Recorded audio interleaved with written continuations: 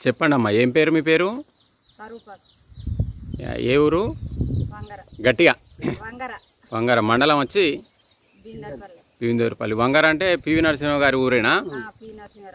ఊరు. ఓకే. ఈ మీరు వ్యవసాయం చేయబట్టి ఎన్ని సంవత్సరాలు అవుతుంది ఇంతకుముందు ఏం చేసేది? ఇంతకుముందు ఇక డిఏపి యూరియా ఇరవై ఇరవై అవి చల్లేది. దీంట్లో అలా చల్లేది? దీంట్లో చల్లేది. చల్లితే ఏమనిపించేది? చల్లితే ఇక ఎప్పటికోటి రోగం దోమకాటు అది ఇది వచ్చేది. వచ్చేది. ఓకే. ఇప్పుడు దీంట్లో ఏం చల్లిండ్రు? ఇగో ఈ పౌడర్ చల్లినాం సార్. ఏంటిది పేరు చెప్పు? దీని మీద ఉన్నది. పేరు నాకు రాదు. Okay okay. పేరు నీకు రాదు. ఇప్పుడు ఇది చల్లేటప్పుడు మీ ఆయన కానీ నువ్వు కానీ ఏమనుకున్నారు?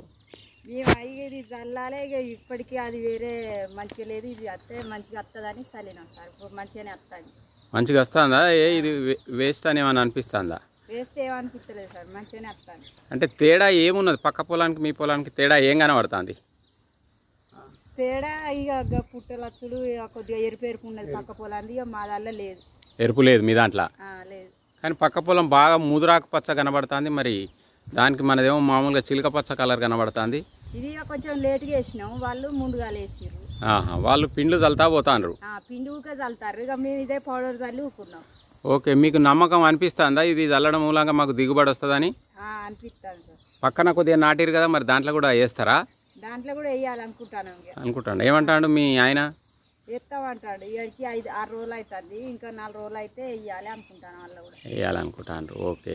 ఇది అబ్జర్వ్ చే అబ్జర్వ్ చేస్తూ ఉండండి. అంటే రెగ్యులర్గా చూస్తూ ఉండండి. కలుపు ఎన్ని రోజులకు తీస్తారు ఇంకా? కలుపు ఇంకా నాలుగు రోజులు తీస్తాం. కలుపు తీసేటప్పుడు వాళ్ళని అడగండి మీరు. భూమి ఎట్లా ఉన్నది ఏం కథ అని. మంచిదమ్మా.